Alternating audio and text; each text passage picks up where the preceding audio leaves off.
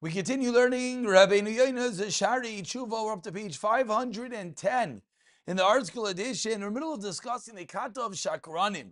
Just to remind ourselves, this entire Shar are those that are Inan Mikablim Pnei Ashchina. Rahman al that one will not be Zaycha to greet the Shechina.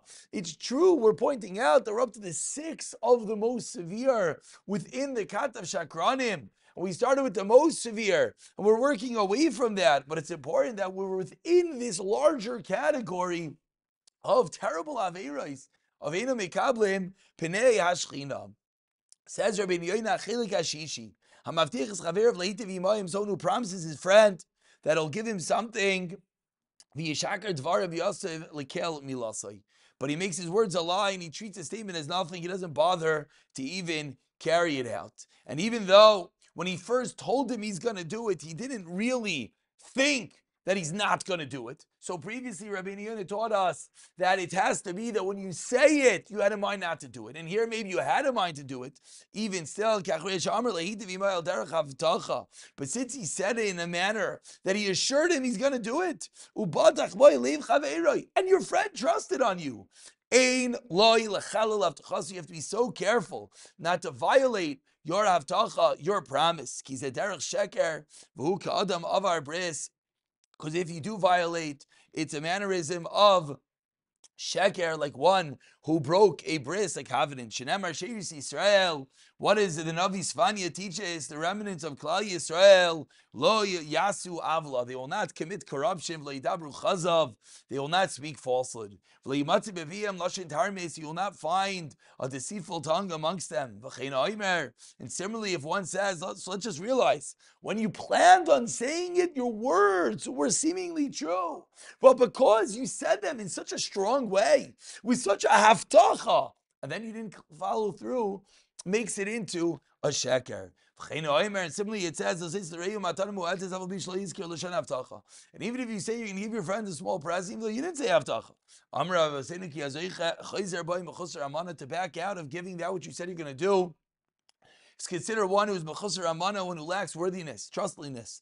Because your friend relied upon you, but by trusting you, because you said you're going to give it to him, and it's not such a big present. So he thought you're going to do it. So now to not do it is mechusar amana. You have to surely give it to him. And if the recipient is poor,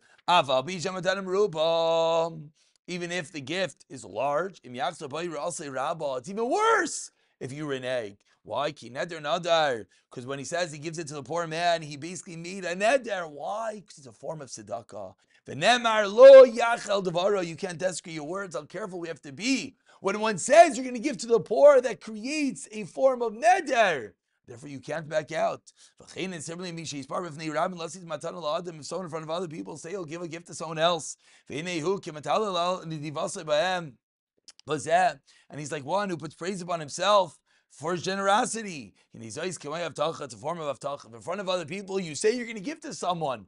It's a form of promise. And then after you get the honor, oh, you're going to give that guy such and such, and then you back out. It's not nachayin. As the pasuk says in Mishlei, "Nisiyam ruach v'geshem ayin," clouds and winds without rain. So too, Ish B'mata Sheker is one who puts praise upon someone for false gifts. The clouds are there, but the rain doesn't come. Like the pain that we're in, let's say someone's a farmer and he needs rain and he looks outside and the clouds are there and it looks like it's going to rain and then it doesn't rain. Such anguish and such pain. So too, if someone puts praise upon someone else in a false gift, the fact that he praised himself is a, shows that, that, he seems like he's going to do it. Therefore, the person, when he doesn't get it, is hurt as his hopes are dashed, as he feels so bad that he didn't get such a matana. We conclude today with Achilik Hashvi, the seventh group of liars. Mishamates Chaverai, son who deceives his friend. Leimar Kiasi He says you'll do something good for him. Or Dibra love, or he spoke favorably to someone on his behalf, and he didn't do it. You tell someone, "Oh, I told Reuven how great you are." No, you didn't. You tell Reuven, by the way, I did this favor for you. No, you didn't. Amru Zechon the Bracha teaches Gemara Chulin. Asar lignoiv das abrios afilu dasko. You're not allowed to steal the das of someone else. A difficult, critical, important area to focus on. The gzela of das. You can't steal someone else's mind. And this chait is is even greater than stealing from a guy. Yan kisva because words of falsehood are a terrible sin.